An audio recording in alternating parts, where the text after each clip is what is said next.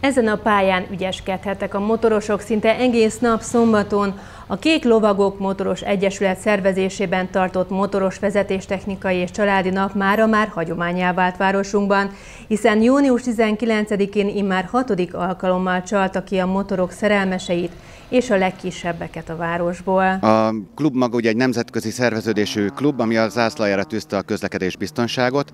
Mi úgy éreztük, hogy ezt a hagyományt követnünk kell itt Magyarországon is, mint egyetlen magyar chapter, és ebből a az elgondolásból született meg a terv, és mi annyit tettünk hozzá, hogy egy családi nappá is kerekítettük, hiszen az a család aprajának, nagyjának is legyen ugyanúgy látnivaló és szórakozni való. A közös egymásra figyelés nagyon fontos, hogyha ezt sikerül elsajátítanunk, megtanulnunk, akkor biztonságosá tehető a közlekedés. A jelen pillanatban azért az egymásra figyelés még kevésbé megy az utakon. Mi azt szeretnénk elérni egy ilyen közlekedés biztonsági vezetéstechnikai nappal, hogy az egymásra figyelés, illetve a motorosoknak az oktatása, a vészhelyzeti meg megoldásoknak az oktatása sikerrel járjon, és egyre kevesebb baleset történjen így az utakon. A nagyszerű programot Kalocsa polgármestere dr. Filvi Géza nyitotta meg, aki stílusosan motorral érkezett az eseményre. Minden kalocsai rendezvény fontos, motoros rendezvények is.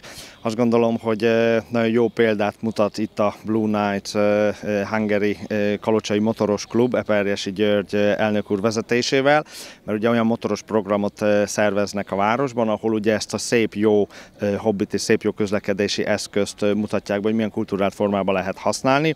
Nyilván a motorozás, a motorosok az nem csak arról szól, hogy most egy keréken végig mennek a főutcán, hogy hangos kipufogójú motorokkal a szűk utcákban egy kicsit borzolják a kedélyeket, hanem kultúrált módon vezetéstechnikai tréninget tartanak itt, rengeteg programot, rengeteg szép dolgot bemutatnak, nagyon érdekes a sürgősségi vérszállítás, amelyet ugye a vérlovagok, a motorosok szállítanak, Úgyhogy, úgyhogy bemutatjuk ezt a csodálatos hobbit. Szívesen jövök, én magam is motorozom, igaz, nagyon-nagyon keveset. A nap folyamán a gyerekek számára volt lehetőség például a katonai sátornál fegyverekkel ismerkedni, de kérhettek arcfestést és lőhettek célba is.